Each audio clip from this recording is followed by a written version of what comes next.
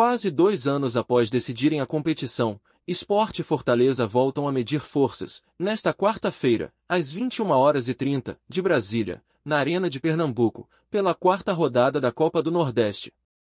A partida pode valer a liderança dos respectivos grupos para o Leão Rubro-Negro ou o Tricolor. Após largar com uma derrota para o Bahia, o esporte venceu os dois últimos jogos, diante do 13 e do Itabaiana. Com seis pontos, é o terceiro colocado do Grupo A, um ponto atrás de CRB e Botafogo da Paraíba. Caso vença e os rivais tropecem, o rubro-negro pode chegar ao topo da classificação no grupo. O Fortaleza, também com seis pontos, ocupa a vice-liderança do Grupo B, com a mesma pontuação do Bahia.